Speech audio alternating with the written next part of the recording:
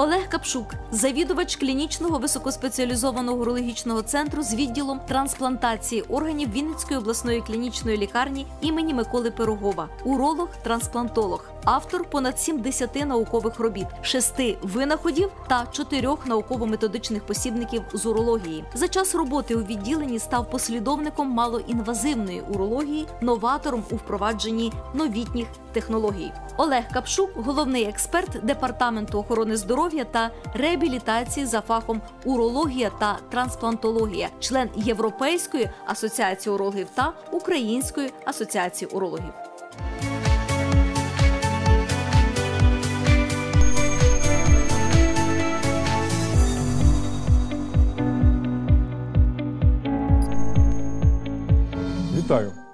Сьогодні поговоримо про сечокам'яну хворобу. Що таке сечокам'яна хвороба? Це багатопричинне захворювання, пов'язане з порушенням обміну речовин і супроводжується утворенням каменів в сечових шляхах. Це нирки, сечоводи, сечовий міхур та уретра. Який склад каменів? Камені можуть бути рентгеноконтрастними, це дегідрат оксалату кальцію та моногідрат оксалату кальцію, фосфат кальцію, слабоконтрастні це фосфат магнію амонію, апатит, цистин. І неконтрастні це сечова кислота, урат амонію, ксантин, індинавір та інші. Які камені бувають за розмірами? Менше 5 мм, 6-10 мм, 11-20 мм, більше 20 мм та кораловидні. Від цього залежить тактика вибору методу лікування їх. Яка причина утворення каменів?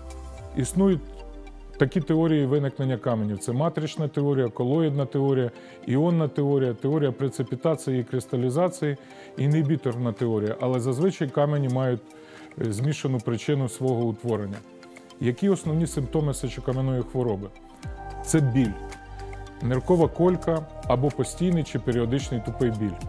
Також гематурія, тобто кров в сечі, е, порушення сечовипускання, дезурія, відходження кристалів або каменів з сечею, підвищення температури тіла.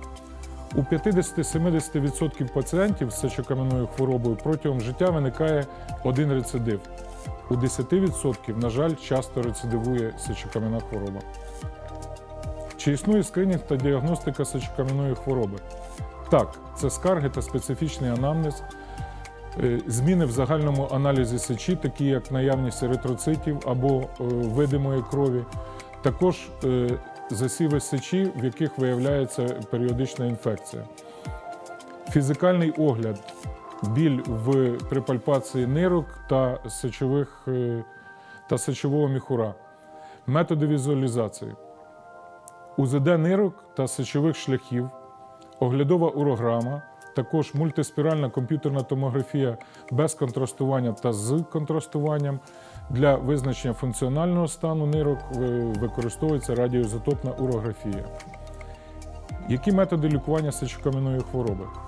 Це літокінетична терапія, тобто лікування направлене на відходження конкрементів за допомогою ліків, якщо вони мають маленький розмір до 5 мм, інколи 6-10 мм також це може використовуватись. Літолітична терапія показана при уратних каменях і каменях сечової кислоти, направлена на е, розчинення, тривалий прийом препарата і розчинення цих каменів. Екстракорпоральна ударно-хвильова літотрипсія трощення каменя ультразвуком без проникнення в середину тіла на спеціальних апаратах. Черешкірна пункційна нефролітотрипсія лазерна, ультразвукова або пневматична, коли через невеличкий один чи два проколи в поперековій ділянці ми візуалізуємо камінь в нирці, руйнуємо його та видаляємо маленькими шматочками. Уретероскопічна літотрипсія при знаходженні каменя в сечоводі ендоскопічно через природні шляхи. Ендоскоп доходить до каменя і камінь руйнується ультразвуком або лазером. Ретроградна інтраниркова хірургія, коли за допомогою гнучких ендоскопів ми можемо е, зайти в середину чашково-мискової системи нирки і фактично в будь-яку чашечку зруйнувати камінь і видалити його маленькими осколками. Комбінована інтраренальна хірургія, коли два останніх методи використовуються одночасно двома хірургами і через прокол, і через природні шляхи, тоді, коли це необхідно.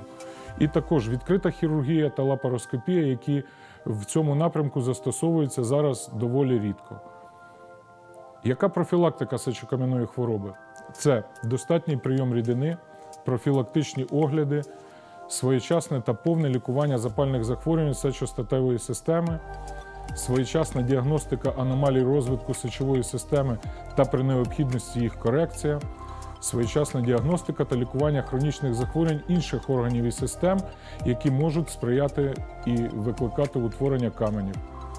Яке має бути протирецидивне лікування сечокам'яної хвороби?